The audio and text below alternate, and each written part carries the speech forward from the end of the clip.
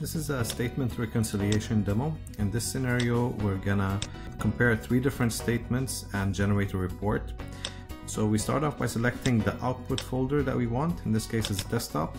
And now we select the first document, which is a bank statement.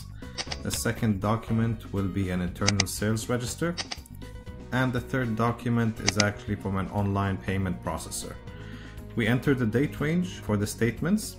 So for this demo, we're doing uh, from the 1st to the 7th of uh, September. And now the bot works in the background by comparing all this data. The data set that we're using now is uh, more than 40,000 lines. The processing part of this video has been sped up, but it took about 6 minutes from start to end in real time. The final report is generated as a pivot table in Excel. This allows the user to click on any of the values and see the line items that make up each of the amounts.